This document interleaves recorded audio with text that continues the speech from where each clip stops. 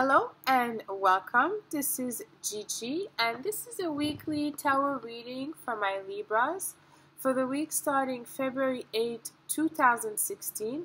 And if you like to have a private reading from me, you can send me an email at gigileetarot at gmail.com.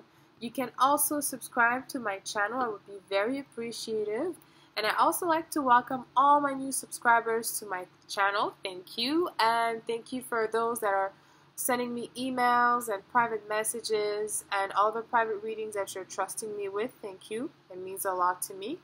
And below the video, you can also see where you could find me on social media. And now for my beautiful Libras, on to your reading. I want you to know that before recording your reading, I meditate and ask Spirit for guidance. And I also shuffle the cards. Okay, so we're starting this week with the Three of Wands. Mm-hmm. Okay, this is a deck by Morgan Greer. It could also be a Three of Rods, depending of um, the deck.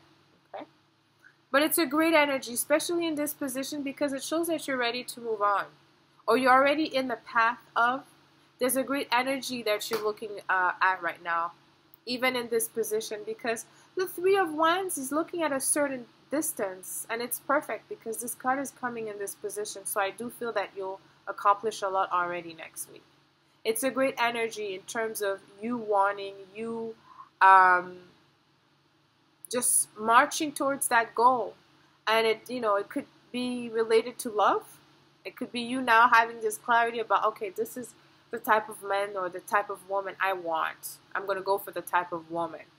It doesn't necessarily mean you know who that is yet because, like I said, there's a certain distance. But, you know, it could also be that you may be a student and you're looking at something that you now embarking, okay?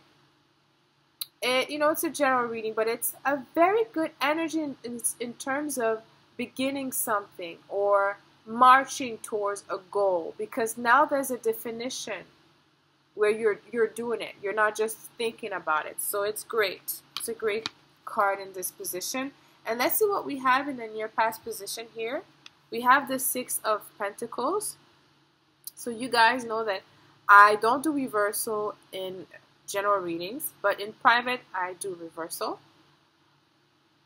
Here the Six of Pentacles shows that, you know, you have with you the confidence of, uh, you know, resource Okay, that could be time, money, intelligence, or just, you know, skills because, you know, it's a general reading. Maybe the Six of Cups, for those that are students, says, okay, it shows here you have the finance, you have the possibility to, to uh, support yourself financially. Okay, for those that are looking for a business, you know, because you're looking for something here, it could be that, you know, Spirit wants you to know that you have the possibility to make it as a career okay? Because, you know, it's attached to Libra a little bit. Uh, we see the, the scale, okay? The scale of, of Libra. So, so it shows here you have the possibility to have the support of the resource, whatever is needed for you. In you going towards your, your this ambition of yours, know that any resource that you need, if it's time to study, you'll get it. You know, if it, you know, having the right people around you to build your business, build up your network, you'll get it okay? So it's a great energy for you. You know you have to understand you have mars in your second house.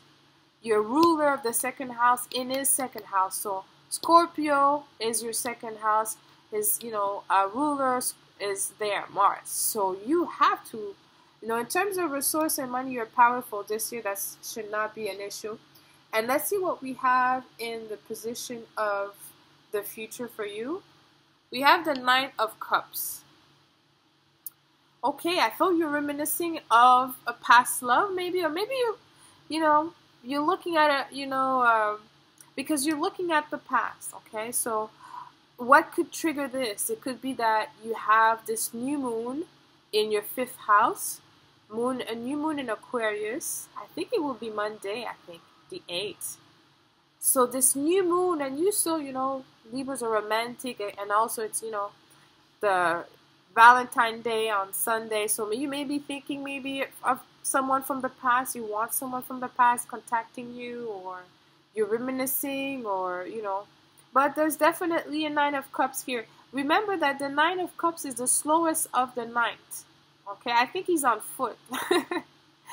Some other, maybe on, on a horse or something, but I think this one is on foot, so it's, it's slow, it's very slow.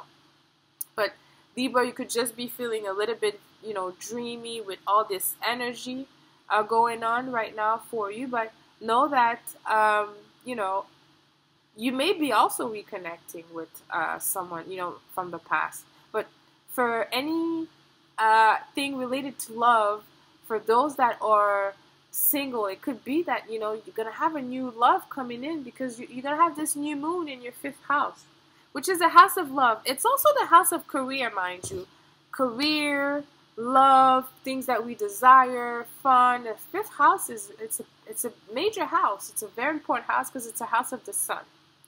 So it's it's big, you know, and it, it relates to different people in different areas. But having this new moon in Aquarius definitely gonna shine something very bright for you that is personal. And let's see what we have in the outcome position. The Seven of Cups. Oh, it's gonna make you dream. Okay.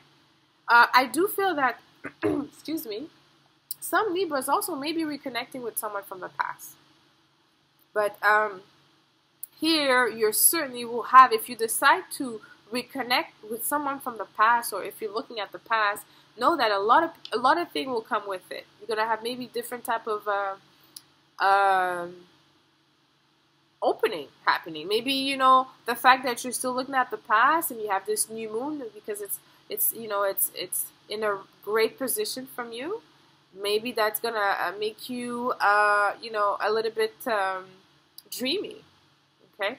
Because you know you have to say you have to to know that the seven of cups is kind of like a little bit uh, you know a card of an illusion or being dreamy okay? Because you see in within the in the cups there's different things happening. But it's just to tell you in the energy is just like you know you'll probably you know go a little bit more or see a little bit more than what it is in terms of love.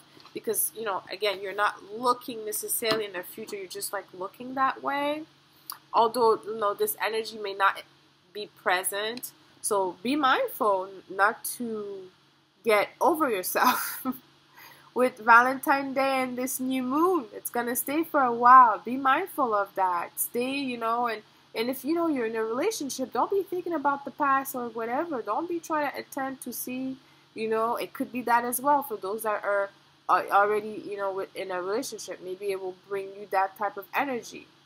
Okay, let me know how it resonates with you, my Libras. Leave me comment below the video. Until then, I'm sending you lots of love. Bye, my Libras. Love you.